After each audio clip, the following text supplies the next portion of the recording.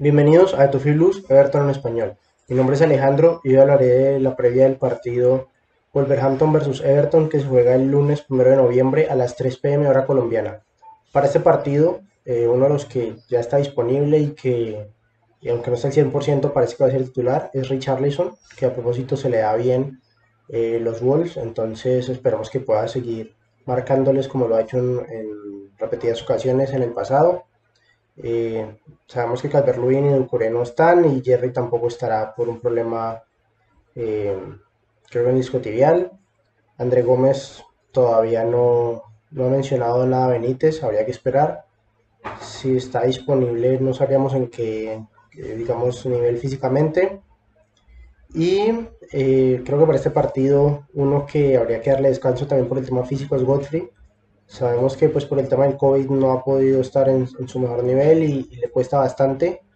Y a menos de que haya habido un cambio drástico en su, digamos, en su nivel físico, creo que, que no debería ser titular para este partido.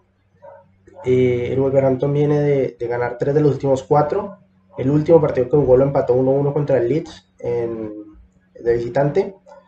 Y bueno, es un equipo que tiene mucha velocidad eh, arriba que hace muy buenas transiciones ofensivas. Tiene a Wang Heshan, es un jugador muy rápido, a Traoré obviamente, todos lo conocemos, muy buen dribbling, es rápido y obviamente muy fuerte. Eh, a Jiménez, el mexicano, es un goleador, tiene muy buen juego aéreo y pivotea muy bien, baja muy buenos balones para, para los dos que mencioné anteriormente. También tienen a Podense, que también es un jugador rápido. Eh, juegan con línea de 3, suelen hacerlo. Pedro Neto y Johnny están lesionados, no creo que vuelvan para ese partido. Entonces, al menos, pues no está Pedro Neto, que es un jugador también muy importante.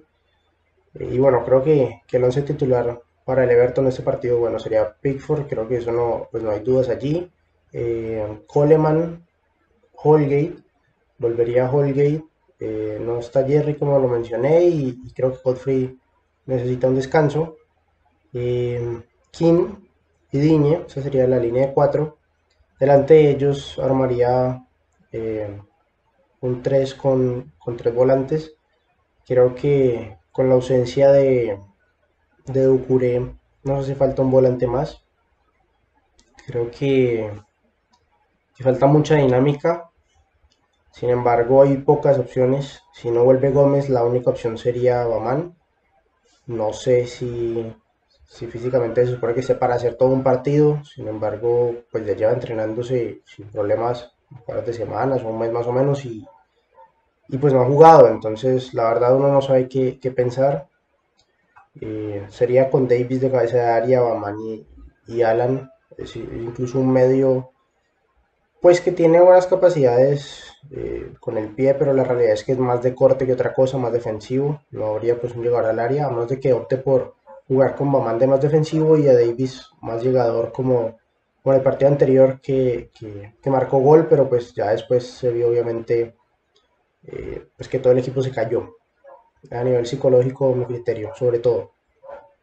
Por derecha, Townsend, no hay cambios allí, Gray por izquierda y Richarlison delantero centro. Ahora, la otra opción es una línea de tres, en cuyo caso Godfrey tendría que jugar. Eh, serían Godfrey, Holgate y King los wingbacks serían Coleman y, Digne, tampoco habría dudas por allí. Con Davis y, con Alan de volantes internos.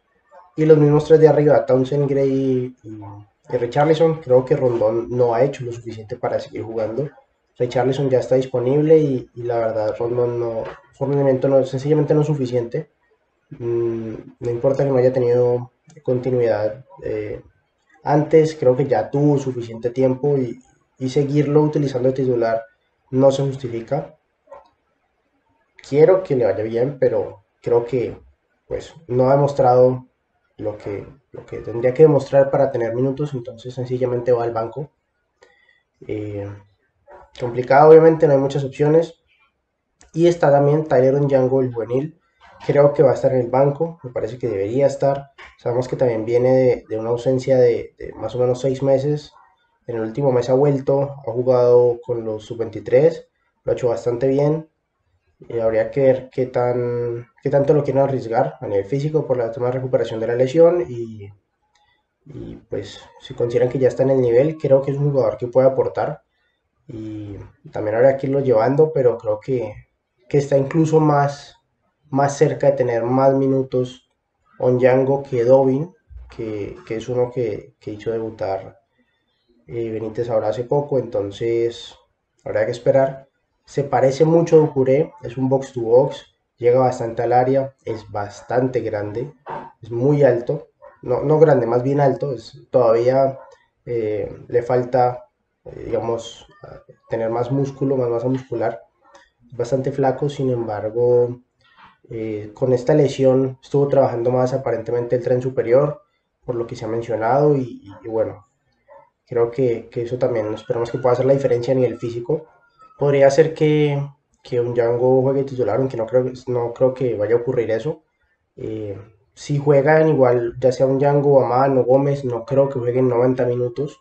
Entonces habrá que, que, hacerse un cambio más adelante en el partido. Habrá que esperar que decisión toma Benítez. Y ya por último, eh, los partidos que se vienen. El 7 es contra el Tottenham de visitante, perdón, de local, en Wilson Park.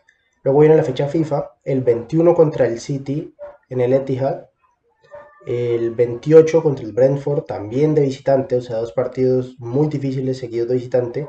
Ya luego el primero de, de diciembre, un partido quizás aún más duro, el derby contra Liverpool en Wilson Park.